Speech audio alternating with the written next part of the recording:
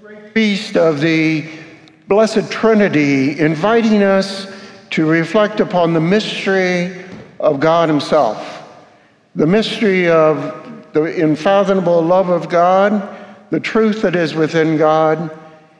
It is that revelation of God as Father, Son, and Holy Spirit that truly is distinctive of Christ. It is only through Jesus that we have that awareness of that Trinity, the three persons in one God. Our readings today, though, do not focus so much upon the Trinity itself as it does the attributes of God. What is God like? And that's an important question for us. What is God like? You know, I think we all kind of have our own images of God. And a lot of those things are kind of created in our own minds.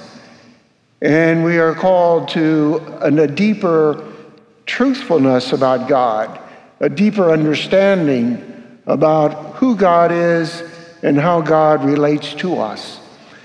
I'm sure I've quoted this before, but I had a scripture prof when I was in the seminary who was one of his favorite sayings was, God created man in his own image and likeness, and ever since, man has been returning the compliment.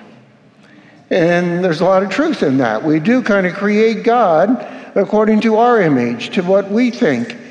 But God wants to reveal himself to us so that we can respond to God as he is. And so often, God is seen as that almighty judge, uh, that uh, uh, one who's going to condemn, who's going to uh, send people to hell. That that's kind of the image of God that we've grown up with. And that's so unfortunate. Or that God is inaccessible, that He's so beyond us that He's not near us at all. That God is not someone who's interested in us, kind of just a force out there, rather than really calling us to that deep personal relationship. And so we see some of those qualities of God that are reflected in the readings today. And the first one is from Moses when God appeared to him in the burning bush. And it says, The Lord, a merciful and gracious God, a merciful God, a gracious God, slow to anger, not a God who's up there with vengeance, slow to anger, rich in kindness, and always faithful that's who God reveals himself to be. And it is our invitation to respond to that God, the God who reveals himself, even in the Old Testament, as being kind and merciful, patient with us, and understanding. And then that great revelation in that micro gospel of John 3:16 God so loved the world, not that he hated the world, God so loved the world that he sent his only begotten Son, not to condemn the world, but the world might be saved through him. And I think we need to, instead of say world there, we need to say ourselves. God so loved me that he sent his only begotten Son, not to condemn me, but rather that I may have be saved, and have life everlasting. Once again, a God of tremendous love, a God of tremendous caring. And if judgment it is there, it's only because we have done the judgment of rejecting that love of God, that salvation in Christ Jesus. And so we are challenged by a God who loves you and me so much that he became one with us in Christ Jesus, that he embraces us as we are and loves us to become ever greater.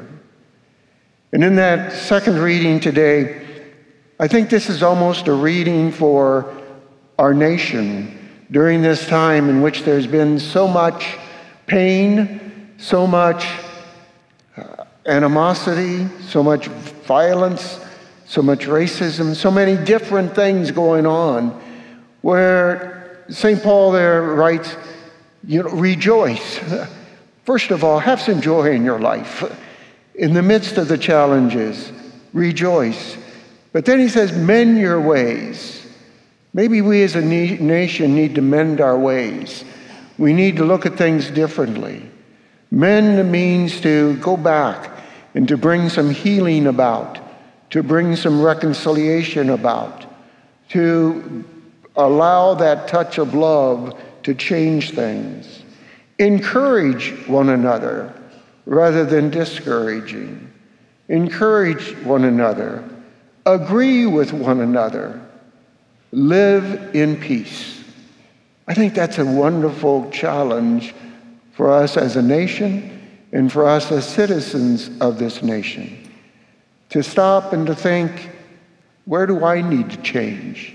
How can I be more loving? How can I be more peaceable?